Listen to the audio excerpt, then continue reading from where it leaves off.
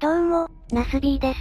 復帰第4回の今回はさらなる民度悪化を招いたニコライで参戦。当初よりカメラ特化はクソになると予見されていたが、案の定追加 MM のこいつはカメラ特化であり、ウルト枠は他 MM をはるかにしのぐ性能を持つネメシス。つまりクソになる要素しかないのが分かりきった MM だった。そのせいでまだプレイヤー層が煮詰まってなかった当時は、慣れたニコライに勝てるパーティーはほぼ存在しないレベルで凶悪だった。しかしサバイバー側が鬼強化され、ランク3桁が当たり前になった限界集落民だらけの現状ではどうだろうか。お前の仲間クライアントに保証した。貴様らに恐怖と死を与えてやるとな。ジルカスの開幕切断に端を発し続々と切断していくサバイバーたち。おそらくジャンなしでやってられないと判断したのだろう。現状でもニコライの開幕切断率はぶっちぎりなのである。貴様の最後だ。受け入れろ。ほらもう試合にならないから言っていいぞメガネ。ハラショーだが力不足だったな。というわけで20秒で完全勝利。これで3000ポイントは GG ですね素敵すぎる。というわけで現状でも切断されまくるニコライ。まあ当時に比べたら開幕切断はかなり減っている。それほどニコライでも余裕に気が増えたということだろう。ちなみにニコライでも一応クリーチャー型の選択肢が用意されており、重機を使うとランダムなクリーチャーが自動配置されるスキルがあるが、ほぼハイズリゾンビしか出てこない素敵すぎる仕様である。そのため結局ニコライは重特化以外の選択肢はないと言っていい。最初の相手はプロと中級者一人、守護神タイローンとオタクがいないので相性はいい。ジャンもまだ中級者ランクなので脅威度は低め。しかしマップがダウンタウンなのでそこだけ最悪。ジルはよほど上手くない限りロケランがしんどいだけ。カメラ特化の侍エッジ型ジルの方がニコライでは辛い。貴様らを見るに、今回は楽に稼げそうだ。さっきの20秒3000ポイントよりは楽じゃないだろぶっ飛ばすぞ。今回のプリセットは強化爆破トラップの即死スタイル。きっと気に入るよ。そうだねわかりやすいハッキングだね。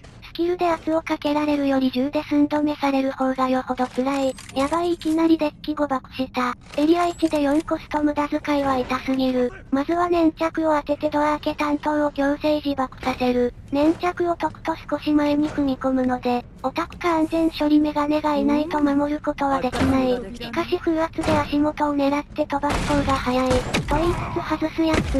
まあ未だ粘着が控えてる。もう少しゆっくりしていってね。保険で置いておいた感染ゾンビ君の圧もあるので、光栄が前に出てくるのを数秒は防いでくれる。そしてどう見ても爆破なのに無慈悲にトラップを撃ち抜く味方。しかし開幕黄色ハーブお買い上げのゴリラ汁だった。爆破に加え自動ライフルまで受けたのに生きてる。対ニコライ戦術をよく心得てる。そして誤爆のせいでエネルギーないの辛い。あー、俺のおもちゃを見つけたか。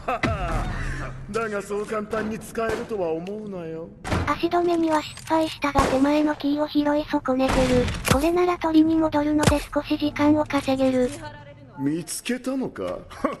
誰がそこに置いたんだ？大事なのはカメラ破壊ボーナスを決して与えないこと。そこさえ徹底できれば一方的にタイムを削れる。エリア1だとサバイバーのカメラ用武器が整わないので、やや立ち回りがしやすい。見つけたか。だが使うまで生き残れない。これでキーの取りこぼしに気づいたはず。先回りして迎撃体制を整える。デッキ回転率は九州ライフルだよりなのでエイム力が試される。カメラ意識はそこまで高くないようだ。使えるものがあるはずよ。メガネに見つかった。一瞬逃げ遅れた50秒ボーナスつらい。そもそもカメラもモンスターもショットガンでよくね状態なのほんと素敵。最初は謎の当たり判定でゴミだったのに、アプデで修正されて今度は他の武器がゴミになった。簡単に見つけられる。あんまり浮かれるな。そもそもキーを蹴る場所の選択肢が少なすぎて破綻してるんだよ。もっと自由に配置させてくれないと探索もクソもないだろ。鍵がかかってる命の時間が過ぎてくぞそんなにたどり着いたのか？こんなはずはないというわけで妨害もクソもないクソマップなのでこれが精一杯。エリアにはマシなのでここで頑張るしかない。別に全然構わないそう簡単には逃げられない簡単に逃げられたら悔しいじゃないですかって誰も言わなかったのか。おサバ様に配慮しすぎてマスター視点抜け落ちてないか。開発者に今のサバイバーたちと戦わせてやりたい。もういっそ細かくルール設定できるモードが欲しい。ショットガンと鹿島禁止にできるだけでマシになるぞ。ではエネルギーも溜まったのでシールドライフルのお時間。お前も黄色ハーブかよぶっ飛ばすぞ。強化ライフルなのに普通のライフルのダメージになるの素敵。しかしいい感じに当てられた。タイムとグリーンハーブ奪えればそれでいい。そして警備員の初期配置素敵すぎ。自ら死にに行くような動きするのも素敵。そいつら一般人のふりしたプロだぞやめとけ。本編感覚で一般人ガブガブしようとすると後悔するぞ。ゾンビ殴って回復するようなやつだぞお前じゃ手に負えない。警備員のカードキーはやる。持ってけ。その代わり次のおもちゃで殺してやる。このメガネ粘着の脱出早すぎだろぶっ飛ばすぞ。おいこのタイミングでやられるとハゲる。今のところ対ニコライ対策で順調に分からされてる。受け入れろとか言ってる場合じゃないだろどう見ても押されてるだろ。このメガネ完全に分かってる動きしてる。先回りで寸止めされるとカメラ型は完全に積むんだよ。しかしカメラハザードに失敗してもまだこいつがいる。ウルト促進カードはこのために仕込んでる。とりあえず目についたやつを殴る。ペイントしてこない相手なら一方的に分からせるのもたやすい。メガネにスプレーを吐かせられればそれでいい。向こうがホクホクしてる間に逃げ遅れた汁を分からせる。これでアイテムスプレーでしか立て直せなくなった。サムが先行したがそこはトラップ地獄。この足止めのためにプリセットで置いてある。バレて冷静に処理されたが足止めできればそれでいい。これでよし、蘇生で分断されたので端から順に落としていく。今攻め込んでくるということはスプレー持ちの可能性が高い。このメガネを通してはいけない。タイラントと違ってハメ性能の高いジャブ。初段を受けたら3、4発は食らうのを覚悟してもらう。ジャンも攻め込んできた。しかしこの狭い空路でこの距離感なら外しはしない。蘇生された汁が立て直しに来たがまだ間に合う。ちょうどネメシスを呼んだカメラ1なのが助かる。そして都合よく粘着ライフルセット。カメラハザードは完全に失敗してたがネメシスだけで完全崩壊させた。貴様の最後だ。受け入れろ。受け入れられなかったメガネが切断。ある意味完全勝利なので気分がいい。なんかボーナスゾンビさんがメガネの台出しに来てるぞ。もう俺から逃げられんぞ。おい、焦るなよ。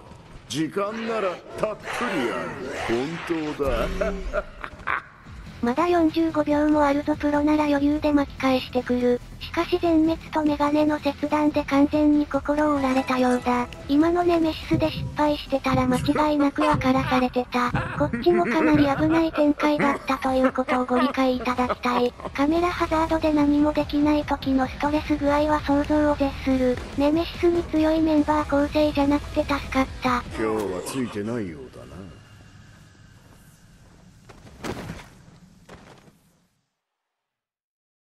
な。ハラショーだが力不足だったな。切断ペナルティとかうるせいぶっ飛ばすぞ。これはアプリエラーの冤罪だぞ私のせいではない。エラーなくすために PS5 プロ買えってことですかぶっ飛ばすぞ。12万とかジャップ舐められすぎだろ素敵すぎる。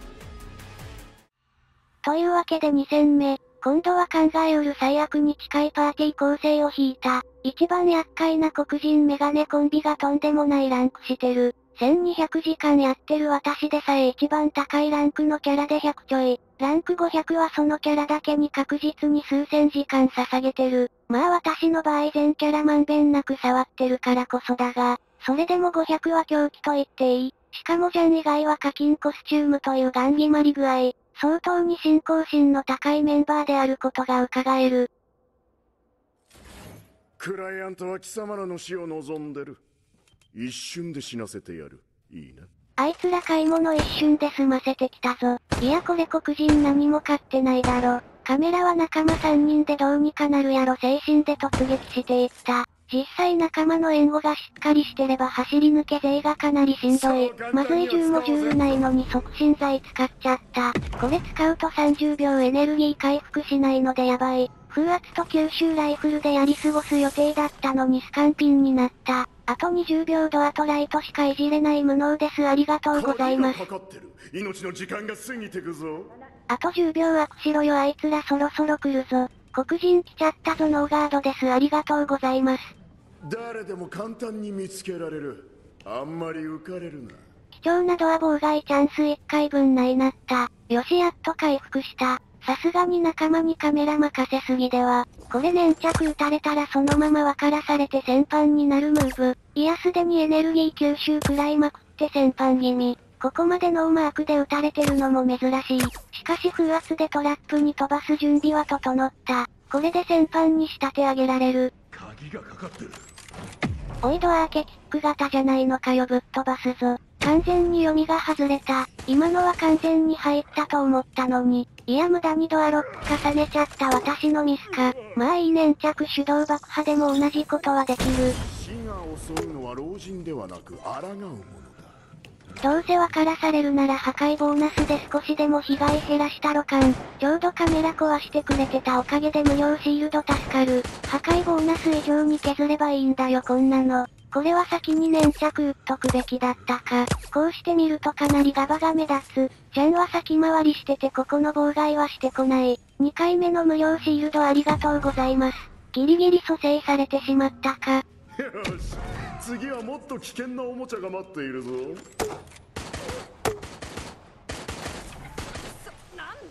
なんだよはこっちのセリフだよぶっ飛ばすぞ。そこでカメラ見てれば撃たれないとか思うなよ。少しでも見えてれば撃てるんだよこっちは。と思ったら通りがかりの黒人の足でカットされた。まあ体力は相当削れたのでよし。背後は無理そうなので先回りして再びライフル。トラップで格殺まで持っていけなかったのが悔やまれる。まあ命中率は悪くない。グリーンハーブ使わせるだけで勘弁してやる。これ以上は無理っぽいので促進剤もぶっ込んでおく。エリアまたぎの前に仕込んでおくとクールダウンが進むのでお得。怯えろ子供たち俺は全然構わないというわけで促進剤ゴリ押しでネメシスまであと少し警備員も都合よく遠くにはいてくれたドアロックだけ先にしておくおいこの音はあかん。なんかマルウェア仕込まれてる。初心者みたいなボンミスしてしまった。まあ無料シールドありがとうと思うしかない。相変わらず狙いやすいところにいる黒人。グリーンハーブで浪費させてやる。遮蔽物に隠れるか抜けるかするまでねちっこく追い回してやる。これで警備員が見つかる前にネメシスを呼べる。曲がり角の四角に爆破トラップを仕込んであるので、ネメシスで追い立てて引っかかるのを狙いたい。とりあえずジャンに無料シールドをもらおう。レバガチャでコントローラーを犠牲にすれば復帰は早い。このご時世にレバガチャとかセンスのかけらもない。買い替えさせるためにわざと痛めつける仕様にした疑惑すらある。ではすぐ逃げられないようジルを拘束しつつネメシス召喚。ここだと即ランチャーは間に合わないので、加速で追いかけやすくしておく。寄生体がいるネメシス。ウイルスに感染したお前たち。そしてゾンビ。引かれた世界だが実に金になる。黄色ハーブで耐えたぞ許せねえ。触手もダメか。まあ警備員から離れさせたのでとりあえずはよし。ロケラン対決しに来たぞ許せねえ。しかしこれは爆破トラップまでのいい陽動になる。黒人メガネコンビが反対側から狙いに来た。しかしそっち側からだとトラップが丸見えになる。やばい外した。いいぞ黒人が U ターンした。時間稼ぎには成功してる。黒人を追えば汁が引っかかる可能性もあるが、追撃を考えると時間が足りない。ワンチャン狙うのはやめておとなしく万人してよ男対ローン突撃の構え。やるんだな今ここで。しまいにしろ抵抗するのは。時間のかけすぎでお前たちは死に俺は儲ける。お前さっき明らかにトラップに気づいて U ターンしてただろしかもショットガンも買ってただろなんでわざわざその身で自爆処理しに行ったのまあスプレー使わせたのでこっちとしては助かるがメガネもあいつ何やってんのって思ってそうまたふん問題ないカードキーを取れ俺が素晴らしいプランを用意してるちょうどジャンのアイコンが邪魔でカメラの状態が見えない。そしてまたマルウェアボンミス。動画にするの恥ずかしくなるレベルになってきた。そしてここのカメラ四角多すぎて素敵。もうこれ次の端末も無理でしょ。シールド耐久しないと一斉に撃たれて終わりでしょ。おい後半で参戦してくるのやめろ。ギリギリで逃げようと思ったのに分からされた。まず視界を奪いそれから命を奪うやめてどこのカメラ行こうかどぎまぎしてるところ見ないで、いろいろ失敗して焦りまくってるの伺い知ろうとしないで、よし黒人だけ隔離できた。これで数秒は当て放題。邪魔が入らないって素敵。落ち着いて狙えるとこんなにも当たる。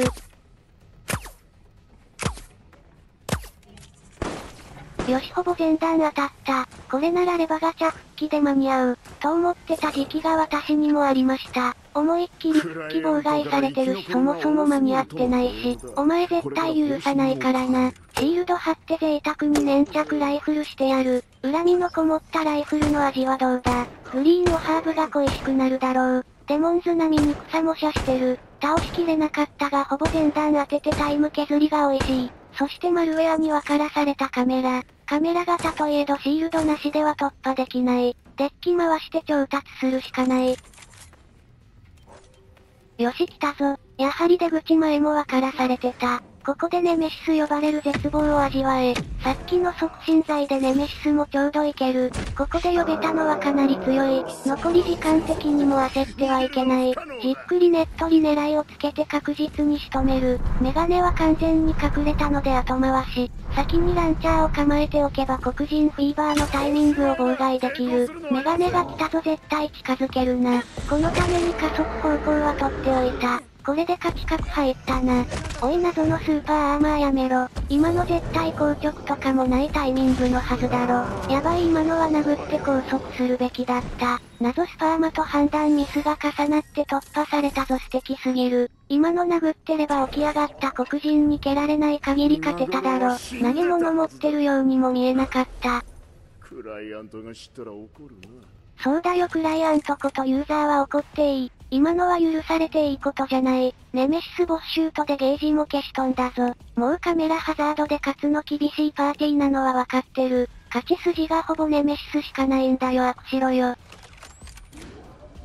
おいここマルウェアの視認性悪すぎだろレバガチャの時間だ。編集中ですらよく見ないと気づかなかったぞ。コントローラー値上げおめでとうございます素敵。よし黒人単独先行だ。自動マシンガンとのタップで分からせる。いや硬すぎだろいい加減にしろ。まあそっちも自動ライフルあるからね。自動銃2個もあるとは思わないだろ。みんな脇道通ってるおかげで誰も自動銃を処理しない。これなら解体しなくても良さそう。おかげで開幕でかなり削れた。レバガチャの時間だ買い替えがはかどるね。3万のデュアルセンスエッジでこれやってるの素敵。ドリってもステックだけ買い替えできるの素敵。ステックだけでも3000円するの素敵。これすら転売されてるの素敵。ステックだけなのに品薄でお一人様一点限りとか素敵。ショットガン連射の音ほんと素敵。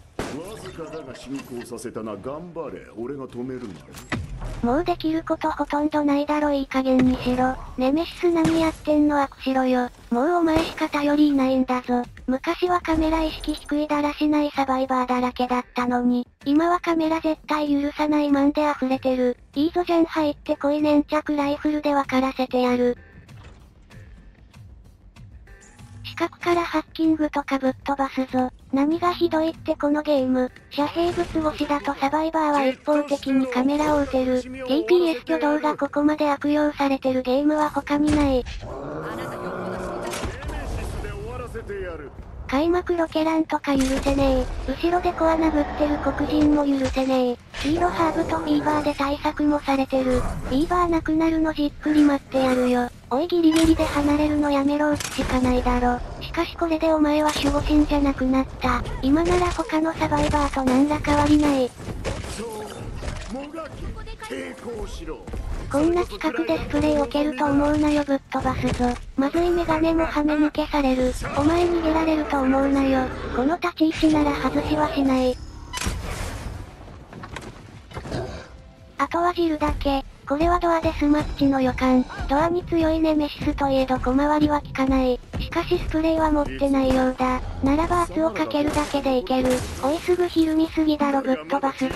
本編の強さはどこ行った？あまり墓石を作ってほしいのか？墓になってるのはこのゲームだろいい加減にしろ。そうなった原因大体このマッチに詰まってたぞ。俺のトラップから出られなかった。強引に当てるのはトラップじゃないんだよ何言ってんの？そしてちゃんと勝ったのにテクニックスコア厳しすぎだろぶっ飛ばすぞ。ちなみに冒頭の開幕切断の時のテクニックスコアは1510だぞ。開幕切断させた方がテクニカルって頭ゾンビかよ。というわけで意味不明な査定は気にせず3戦目。今度は守護神だけ低ランクで他はプロ。ジャンが高ランクだと何もさせてもらえないことが多い。そもそもメガネ黒人がいるだけで相当辛くなる。またネメシスだよりになりそうな予感。貴様らを見るに、今回は楽に稼げそうだ。開幕切断より楽な稼ぎはないだろ何言ってんの。ちなみに全カメラに漏れなく死角があるので、徹底されるとマジで何もさせてもらえない。初期カメラはその最たる例で、開始位置からしばらくの場所までは絶対狙えない。安全だ。だが作動させる方法を探しているうちに死ぬだろう。おい銃の展開音で警戒されて誰も開けに来ないぞ。いや黒人が来た。カバーも見えないしいけそう。必ず見つける。破壊早すぎだろいい加減にしろ。あれニコライの天敵の重機破壊特化だろ。あのタイプのジャンに雷電買われるともう罪みたいなもん。幸いメガネがトラップに引っかかってくれた。ベッカスがカバーに入ったが多少なら時間稼ぎできる。おい今の初段絶対当たったはずだろぶっ飛ばすぞ。まだ風圧でギリギリいけるかもしれない。ダメでした辛い。よし。次はもっと危険なおもちゃが待っているぞ。いやもう何の隠し玉もないぞ。ベッカスに屈伸煽りされたので餌になってもらう。蘇生されてヤンのプーツスクス感あった。メスガキベッカスとか需要ないからやめろ。ちゃんとカメラ潰してから進む丁寧な立ち回りされてる。このタイプはシールドないと何もできない。とりあえずガン見して圧をかける。ここ閉まってる。私に任せて。いいぞかなり警戒してる。無駄打ちさせてからシールド貼って延長しよう。まずいここのドアロック忘れてた。まあ当たりは良好だしいいか。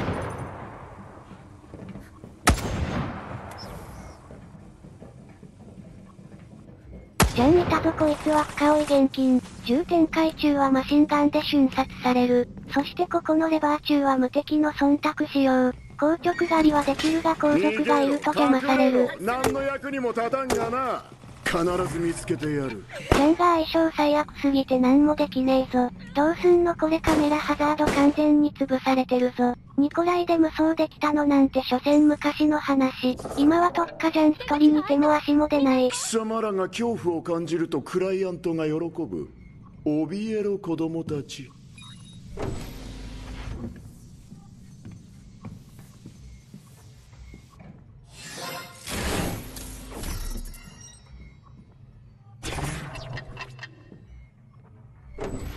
俺は全然構わない。いや余裕こいてる場合じゃないぞ。ハッキング食らって暇なので賞賛でも送っとこう。とりあえずお散歩の時間だ。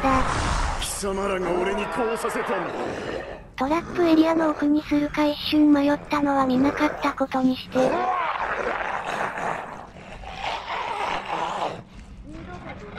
入り口のトラックに使って処理されてるぞ。ジャンにカメラ制圧徹底されてるのがマップでよくわかるだろ。カメラの視界入ったら常にマークされてる。こういう立ち回りされるとマジで無理ゲーなんだよ。銃買わない舐めた立ち回りしてる近接勢いても、カメラ意識高いのが3人いれば余裕で押される。あとはジャンに見つからないよう祈りながら邪魔するしかない。ほらこれですよ。重機破壊特化で雷電撃たれると一撃で分からされる。しかも雷電は無限弾なので息切れもしない。またかよぶっ飛ばすぞ。ここのカメラは別エリアから狙撃できる欠陥仕様。カメラも1台しかないので、キシールドでゴリ押す以外の卓がない。警備員がベッカスに見つかったぞ。後続が来る前に急いで分からせる。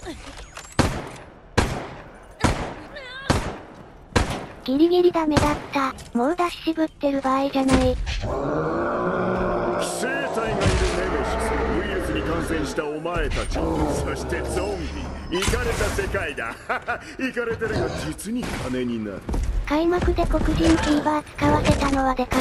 これで守護神としての機能は序盤で失う。やばいぞ一瞬でも止まると分からされる。完全にベッカスが殺しに来てる。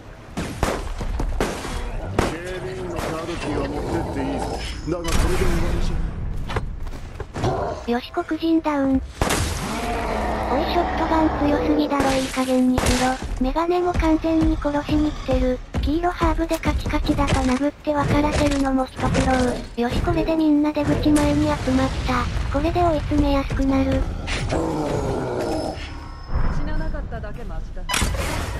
またギリギリ足りてないぞなんなの。しかしここなら狭いおかげで触手が当たりやすい。スプレーは犯せないぞ。いや時間が足りてない。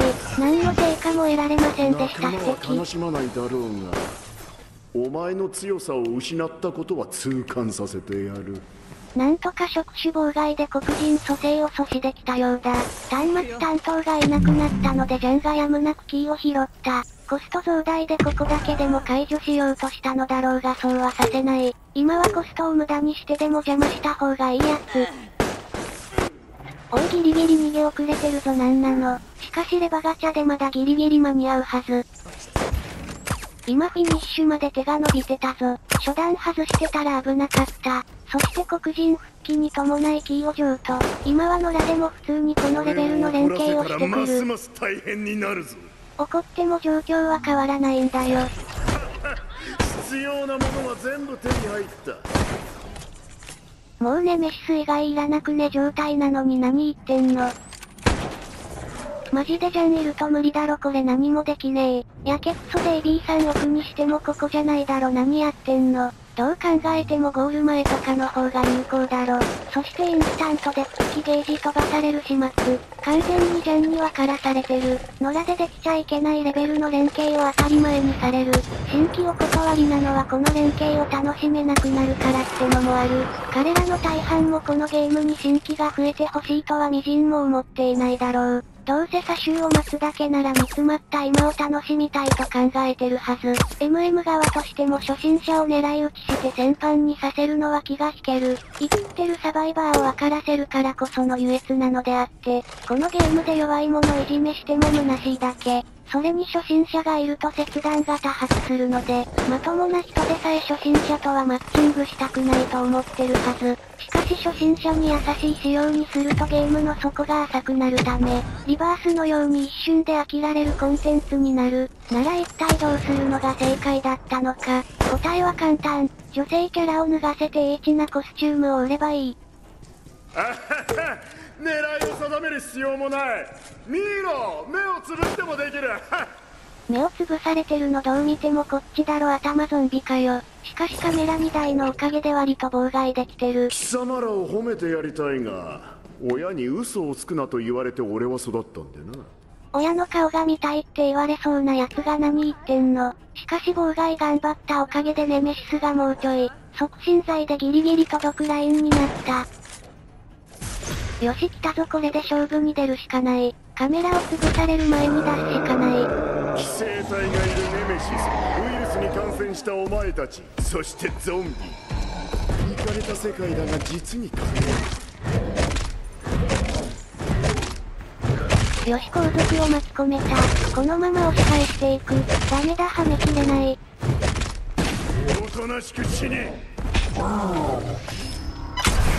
よしメガネは潰せた。さすがに蘇生は間に合わないぞ。ジャンのやけくそムーブが見れて満足。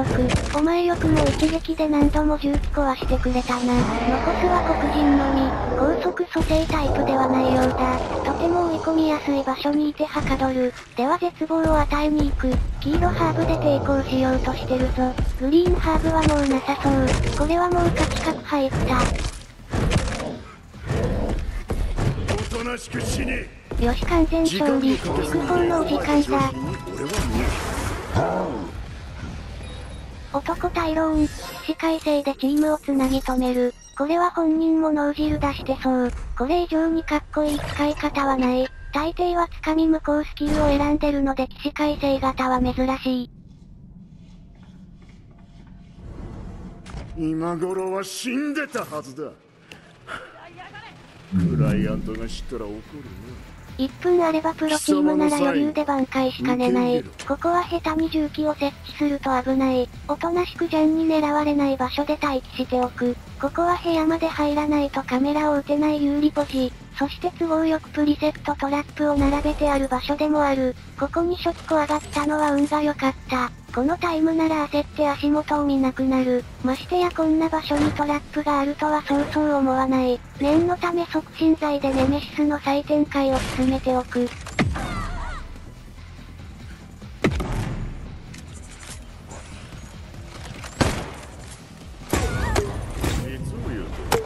様らがここまで残るとは思わな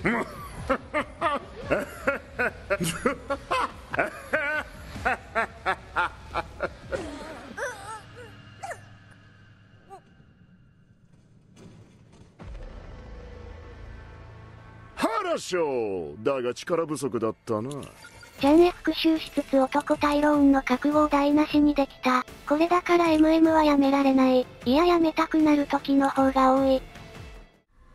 というわけで過去1で MM やめたくなった回もお見せしたい。おそらく新規で MM やろうなんて思う人を根絶する試合なので、どの程度ひどいことになるのかを見届けてほしい。クライアントは貴様らの死を望んでる。一瞬で死なせてやるいいな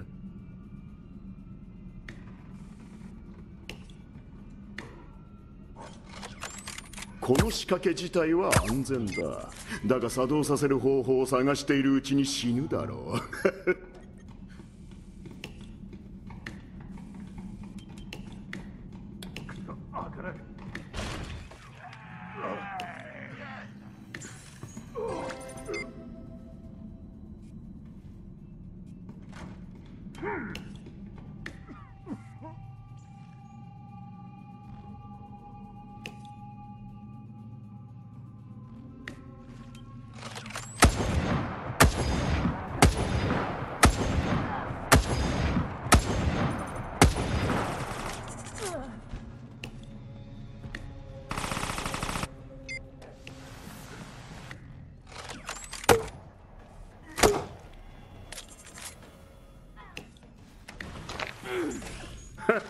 見つけたか。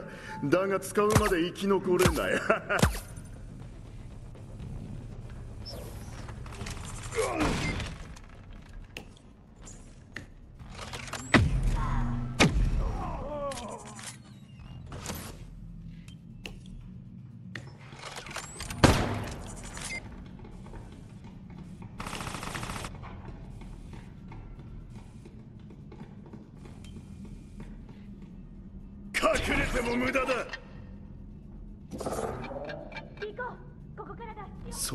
たどり着いたのか？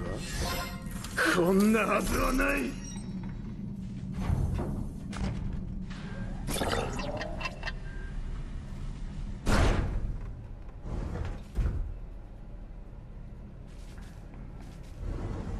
俺は全然構わない。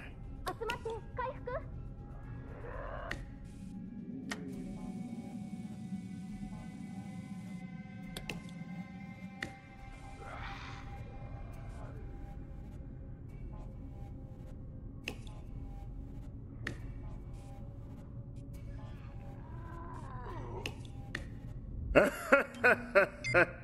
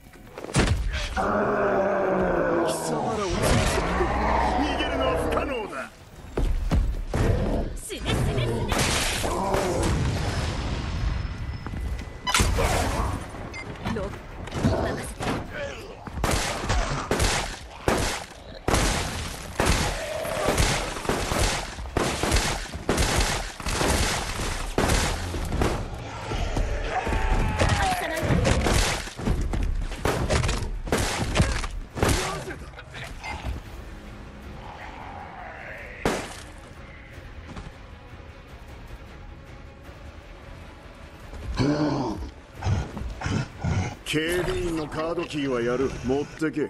その代わり次のおもちゃで殺してやる。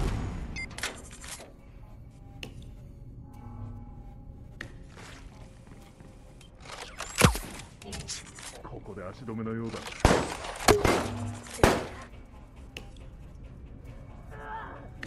俺を怒らせたらますます大変になるぞ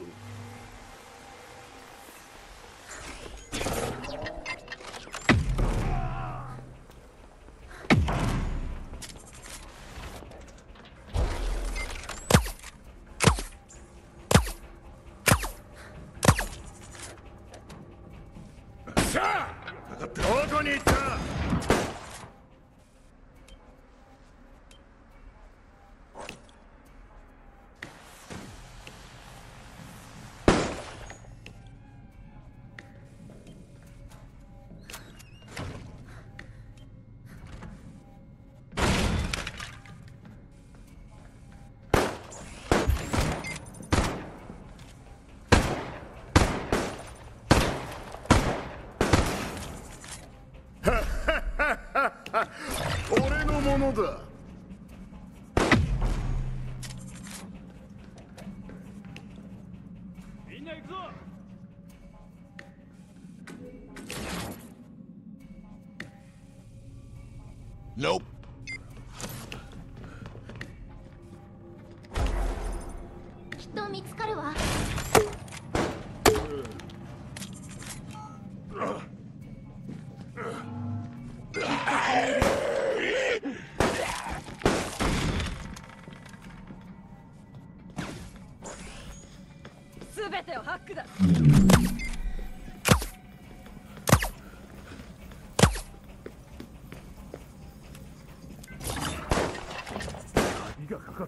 様らを褒めてやりたいが親に嘘をつくなと言われて俺は育ったんだよ。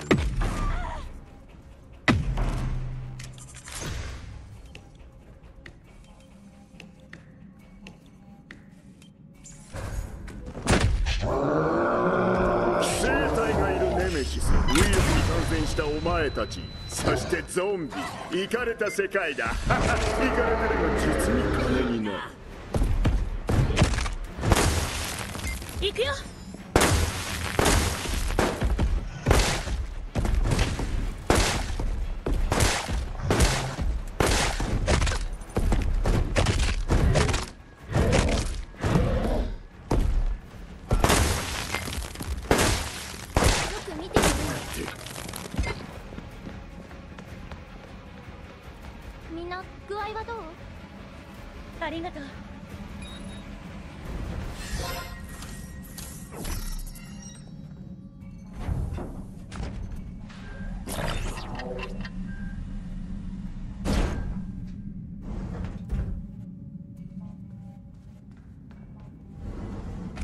様らを殺す時間はまだある。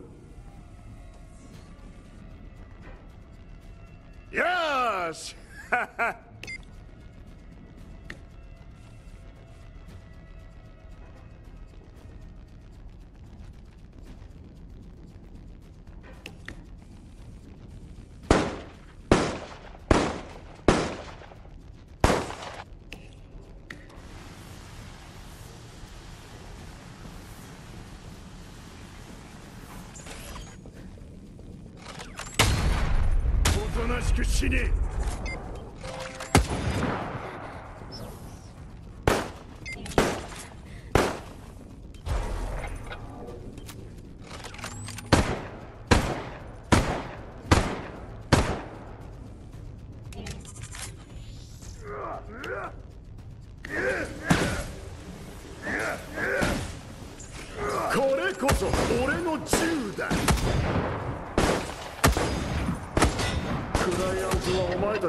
苦しんでほしいらしい。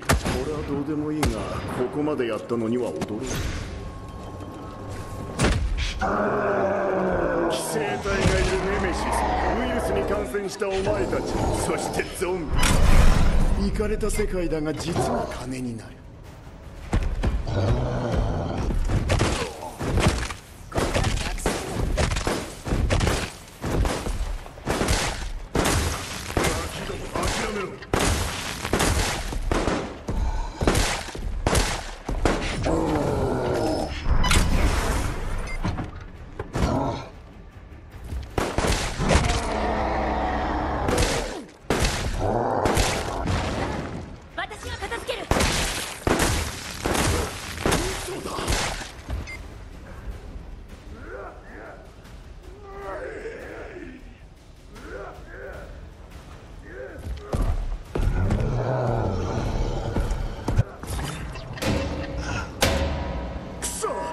死んでるはずだった